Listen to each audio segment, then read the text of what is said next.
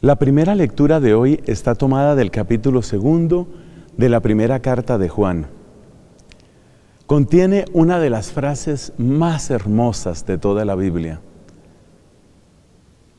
Nos llamamos y somos en verdad hijos de Dios.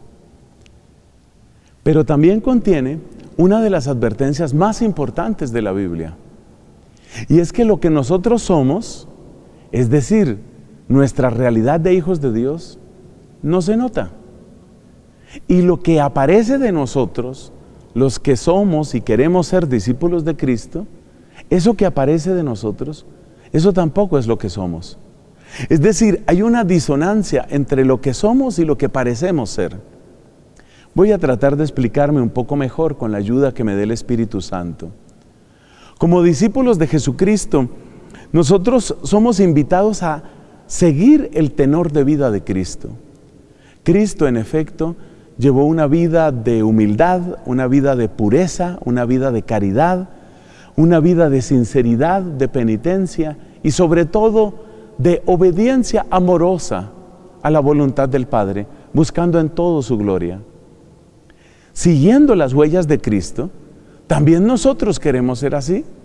También nosotros queremos obedecer en todo al querer del Padre. También nosotros queremos cumplir su voluntad, es lo que decimos en el Padre Nuestro todos los días. De hecho, esa es nuestra oración. Hágase tu voluntad en la tierra como se hace en el cielo. Ese es el Padre Nuestro. Entonces, vamos tras las huellas de Cristo y por eso, por eso, pues hablamos como hablamos y actuamos como actuamos. Si somos cristianos coherentes. Pero ante los ojos del mundo, ¿qué nombre se le da a una persona que perdona con facilidad, que ora a menudo, que es humilde, que no quiere ser codicioso, que conserva puro su corazón? A esa persona se le llama un inepto porque no tiene codos suficientemente fuertes para derribar a su competencia. A esa persona se le llama tonto porque deja pasar momentos, oportunidades que quizás le hubieran podido dar grandes ganancias o dar gran poder.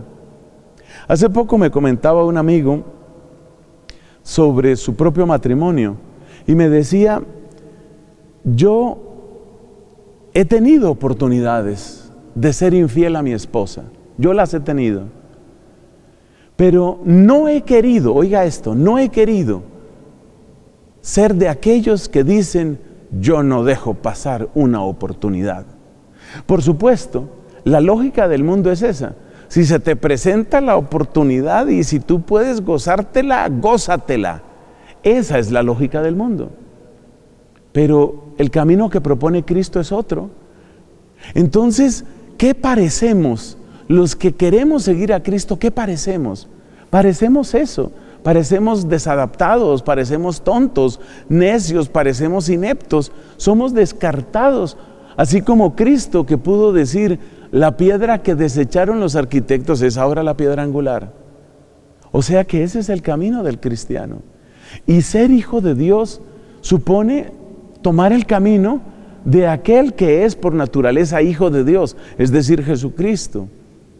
Por eso las dos enseñanzas de hoy son, tengamos certeza de que sí somos hijos de Dios. Pero segundo, tengamos certeza también de que el mundo no se siente a gusto con eso y que los nombres que tiene para nosotros y el desprecio que tiene para nosotros es el mismo desprecio y son los mismos nombres que tuvo para Jesús. Sin embargo, para aquel que ama, llamarse como Cristo es una alegría es una bendición, es una victoria.